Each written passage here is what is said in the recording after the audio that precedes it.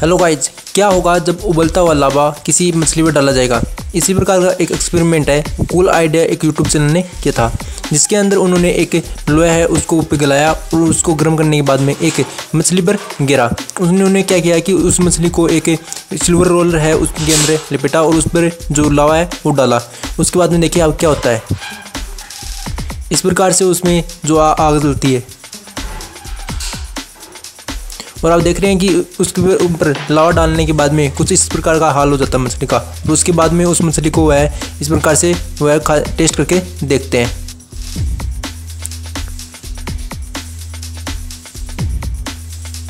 आप देख रहे हैं कि देखो किस प्रकार से पूरी तरह से ये मछली पक चुकी है क्योंकि लावा का टेम्परेचर वो बहुत ज़्यादा हाई होता है, जिस कारण ये फ़ीस है पूरी तरह से पक चुकी है।